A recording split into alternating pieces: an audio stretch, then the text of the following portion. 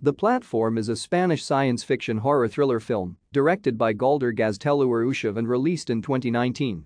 The film is set in a large tower-style prison where the inmates are fed by means of a platform that gradually descends the levels of the tower, ostensibly a fair system if each inmate takes only his or her fair share of food, but deeply inequitable in practice, as inmates at the top levels have the ability to take much more food and leave less for those below. The film's cast includes Ivan Massagué, Antonia San Juan, Zorion Eguileor, Emilio Buale Coka and Alexandra Masangkay. The film premiered at the 2019 Toronto International Film Festival, where it won the People's Choice Award for Midnight Madness. At TIFF, the film also secured a worldwide streaming deal with Netflix. Goreng awakes in a concrete cell marked with the number 48.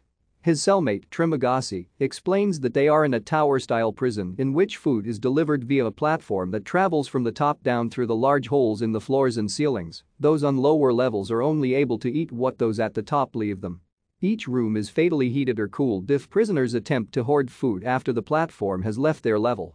Every month, the prisoners are assigned to a new level, and each prisoner is allowed to bring one item in with them. Goreng chose a copy of Don Quixote, Trimagasi's self-sharpening knife.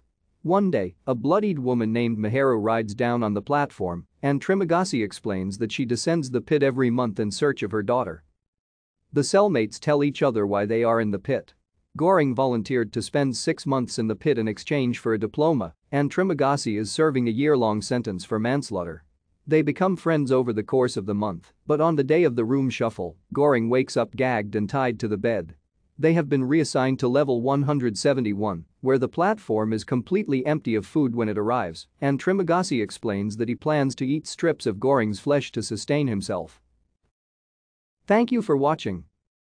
Like and subscribe if you would like to view more of our videos. Have a nice day.